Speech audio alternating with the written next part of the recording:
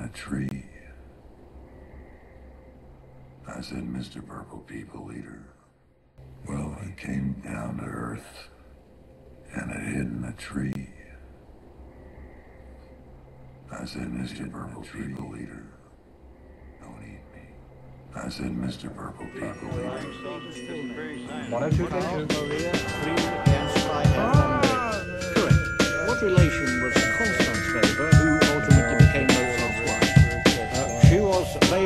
uncle's daughter, and she married eventually Mozart, but who...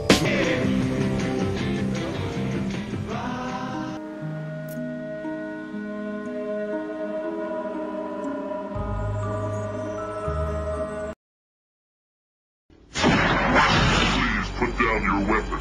You have 20 seconds